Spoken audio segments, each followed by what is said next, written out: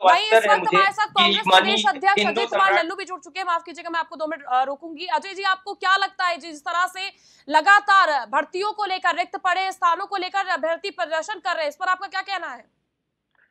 उत्तर प्रदेश सरकार जिसने पिछले समय 14 लाख प्रति वर्ष रोज़गार की बात की थी अपने चुनावी घोषणा पत्र में।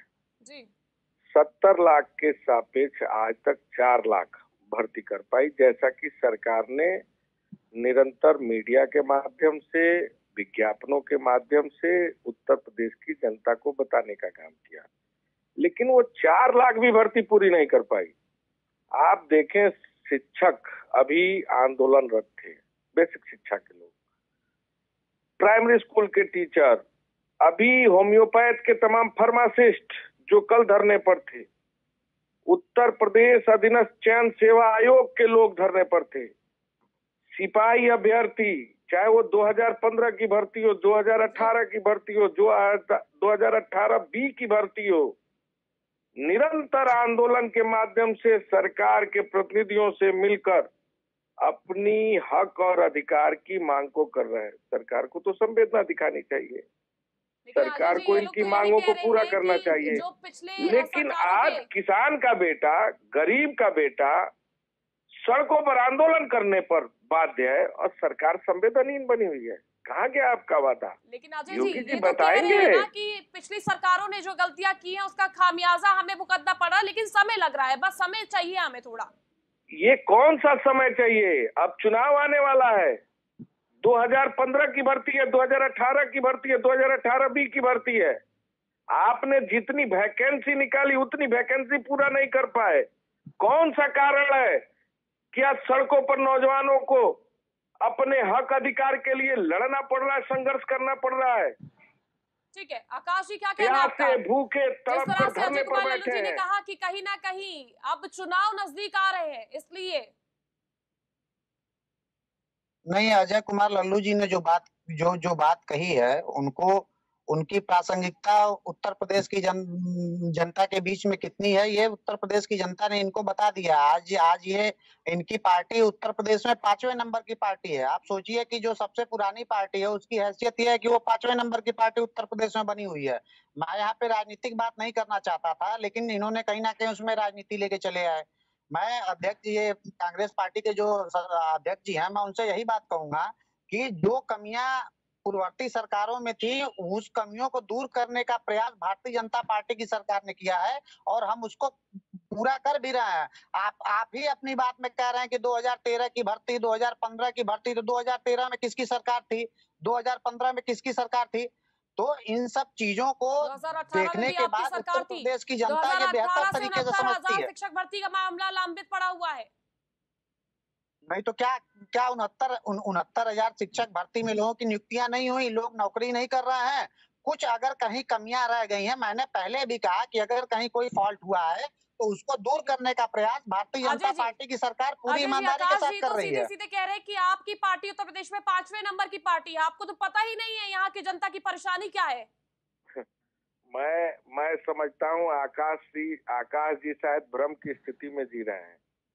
और जो हालात है, स्थिति आज नौजवान बेरोजगार सड़कों पर आंदोलनरत है। अभी पिछले समय जितनी भर्तियाँ निकली हैं, उन भर्तियों की स्थिति और आलम को देखिए। कहीं ना कहीं कोर्ट के शरण में है। कौन सी ऐसी स्थिति है कि अगर आप बेसिक शिक्षा की भर्ती निकालते हैं, दरोगा की भर्ती निकालते हैं, सिपाही की भर्ती निकालते हैं, यूपीएससी की भर्ती निकालते हैं, उसमें भ्रष्टाचार खुलकर सामने आता है। ये जो नौजवान है मैंने 2013 नहीं कहा 2015 का 2018 का 2018 बी का मैंने सदन में सवाल किया था सरकार से क्या उस समय सरकार को इससे संज्ञान नहीं लेना चाहिए? अगर सड़कों पर हम लोग आंदोलन करके रोज बेरोजगारों के सवाल को उठा रहे हैं तो क्या सरकार को संज्ञान नहीं लेना चाहिए? अगर ये अभ्यर्थी जो अपने हक अधिकार की बात कर रहे हैं क्या सरकार को संज्ञान नहीं लेना चाहिए? सरकार तो हेडिंग मैनेजमेंट में लगी है। तो आपको क्या लगता है? योगी सरकार जी, नहीं ले रही है। आपने दे, उत्तर प्रदेश में लोगों को ऑक्सीजन के अभाव में तड़पा तड़पा के मरने पर विवश किया और आज फिर इन नौजवानों को बेरोजगारी का दंश इस इस अर्थ पर आपने मजबूर कर दिया है कि आज नौजवानों को सड़कों पर उतरना पड़ रहा है। रही बात राजनीतिक प्रतिद्वंदता की वो जनता तय कर देगी इस बार क्या कहना है आपका? मुहाने पर है और जिनको किस आप पाँचवें नंबर की पार्टी कह रहे थे उनको आपसे ज़्यादा शायद तक पता है कि क्या समस्याएँ चल रही हैं और किस वजह से नियुक्ति नहीं हो पा रही है। नहीं नहीं देखिए ये ये सिर्फ़ भ्रम की स्थिति पैदा करना चाहते हैं लोगों के बीच। अभी इन्होंने ऑक्सीजन की बात कही चले आए ये कोरोना काल की वो भ्रम की स्थिति है। नहीं नहीं आप आप मेरी मेरी भी बात हो जाने दीजिए इन्होंने जो बात किया कि ऑक्सीजन से लोगों की मौतें हो रही हैं लेकिन फिर ये बताना भूल जाते हैं कि सबसे ज़्यादा मौतें महाराष्ट्र में हुई, वहाँ पे किसकी सरकार है? राजस्थान में मौतें हुई, वहाँ पे किसकी सरकार है? छत्तीसगढ़ में किसकी सरकार है? आप सिर्फ़ ये बात करेंगे कि उत्तर प्रदेश में ये हो रहा है इनकी जो प्रभारी हैं उत्तर प्रदेश की प्रियंका गांधी वाड्रा जी उनको कोई समस्या हो सारी समस्या उत्तर प्रदेश में दिखती है। महाराष्ट्र में सबसे ज़्यादा केसेज आते हैं? महाराष्ट्र में सबसे ज़्यादा मौतें होती हैं उसके लिए इनका ट्वीट नहीं आता है। लेकिन उत्तर आ- प्रदेश में कोई छोटी से छोटी घटना होती है लेकिन तो ये पे- तो पे ये लोग आ जाते हैं। कर रहे हैं समस्याओं से जूझ वो रहे हैं उनकी मैंने मैंने नहीं देखिए मैंने भी जुड़ा हुआ है अभी तक। तो उनको बताइए कि कब इन पदों पर नियुक्ति होगी? आरक्षण में जो घोटाला सामने आया है जिसके लिए वो परेशान है चक्कर लगा रहे हैं। बाईस हज़ार और पदों को जोड़ने की मांग हो रही है। ये तमाम मांगे जो है नहीं, मैंने- कब कार्रवाई होगी? मैंने पहले ही कहा कि पूजनीय मुख्यमंत्री जी ने अभी पंद्रह दिन पहले ये आदेश जारी किया है कि जिन भी विभागों में कहीं भी किसी भी विभाग में जो पद रिक्त हैं उन रिक्तियों को हम भरेंगे और उसके लिए सरकार पूरी प्रक्रिया कर रही है और जल्दी से जल्दी सारे विभागों में जहाँ जहाँ पे भी पद खाली है उसको हम भरेंगे। हज़ार शिक्षक भर्ती का मामला चला आ रहा है और अब जाकर 2021 में नियुक्ति को लेकर आप लोग हुए। उसके बावजूद लगातार आप ये कह रहे हैं कि अभी हो जाएगा अभी हो जाएगा। अब 2018 से कितना और समय? अबे आपको क्या लगता है? जो ये आश्वस्त कर रहे हैं आपको क्या आप आश्वस्त हो रहे हैं इनकी बातों से? आपको लग रहा है क्या किस कार्रवाई होगी? बिल, बिल, बिल्कुल भी मैं मैं एग्री नहीं कर रहा हूँ। मेरा मेरा केस राष्ट्रीय पिछड़ा वर्ग आयोग में एक साल से चल रहा है और मुझको योगी सरकार में न्याय नहीं मिल पा रहा है। मुझ समझ में नहीं आ रहा है योगी सरकार में इतना बड़ा घोटाला अधिकारियों ने कैसे कर दिया? क्या उन्हें माननीय मुख्यमंत्री का डर नहीं है? क्या भाजपा सरकार का डर नहीं है कि अधिकारी अपने मन से अवैध रूप से लड़कों को अंदर कैसे भर सकते हैं? और हम दीजिए पिछड़ों और आकाश जी ये दलितों जो को कैसे तमाम बाहर कर बातें सकते वो हैं? बोल रहे हैं और मैं उन्होंने ये कहा है बात हमें नहीं बोल भरोसा रहा हूँ। नहीं है।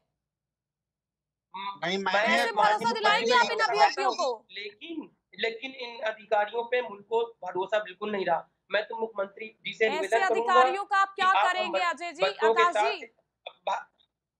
मैंने मैंने पहले ही कहा कि इन अभ्यर्थियों के साथ उत्तर प्रदेश की जो भी समस्याएँ हैं जिन भी लोगों को चाहे ये अभ्यर्थी हो या कि कोई और समस्या किसी को है उनके साथ भारतीय जनता पार्टी की सरकार खड़ी है और अगर किसी अधिकारी ने कहीं कोई गलती की है कहीं कोई भ्रष्टाचार हुआ है कहीं कोई उन्होंने अपराध किया है तो उनको दंडित करने का भी काम हम करेंगे करेंगे। मतलब? आप मुझे ये बताइए आप ये सुनिश्चित करेंगे कि ये जो घोटाला हुआ है राष्ट्रीय पिछड़ा वर्ग की तरफ़ से उस पर कार्रवाई की जाएगी? पैंतीस सौ अट्ठाईस पदों पर सिपाही भर्ती को लेकर काम किया जाएगा। बिजली विभाग में जो रिक्त पद पड़े हुए हैं उनको लेकर काम किया जाएगा ताकि रोज़गार मिल सके। लोगों को रोज़गार की ज़रूरत है इस वक्त। मैंने मैंने पहले ही कहा और इस आपकी डिबेट में मैंने ये बातें तीन चार बार ये मैं बात बोल चुका हूँ कि पूजनीय मुख्यमंत्री जी ने ये आदेश जारी किया है सारे विभागों को कि जहाँ पे भी कहीं कोई पद रिक्त है उन पदों को भरा जाए। अब इससे ज़्यादा मैं और क्या आश्वासन दे सकता देखेंगे हूँ जब मुख्यमंत्री जो हमारे खुद कह दावे रहे हैं ये दावे कितने ज़्यादा जमीनी स्तर पर स्पष्ट होते हैं क्योंकि लगातार अभ्यर्थी परेशान है तो जरा सरकार को उनकी ओर नज़र फेराने की ज़रूरत है। बहुत बहुत शुक्रिया अजय, आकाश जी और अभय, आप दोनों का हमारे साथ इस चर्चा में शामिल होने के लिए। तो मैं आशा करूँगी कि जिस तरह से अभ्यर्थी प्रदर्शन कर रहे हैं और उनकी जो मांगे हैं, वो जायज़ हैं तो उनको तुरंत से तुरंत हल किया जाए और पैंतीस सौ अट्ठाईस पदों पर सिपाही भर्ती को लेकर आज अभ्यर्थियों ने प्रदर्शन किया। उनहत्तर हज़ार शिक्षक भर्ती को लेकर लगातार प्रदर्शन जारी है। नियुक्ति को लेकर कहीं रास्ता साफ़ हुआ तो अब आरक्षण को लेकर पेच फंस गया है। तो लगातार अभ्यर्थी ये मांग कर रहे हैं कि आरक्षण पर जो घोटाला सामने आया, उस पर कार्रवाई हो और जो पद खाली पड़े हुए हैं, रिक्त पदों पर नियुक्ति जल्द से जल्द हो। फ़िलहाल के लिए बस इतना ही। हम फिर हाजिर होंगे देश और दुनिया की तमाम खास खबरों के साथ। तब तक के लिए आप स्वस्थ रहिए, सतर्क रहिए और मेरे साथ देखते रहिए प्राइम टीवी।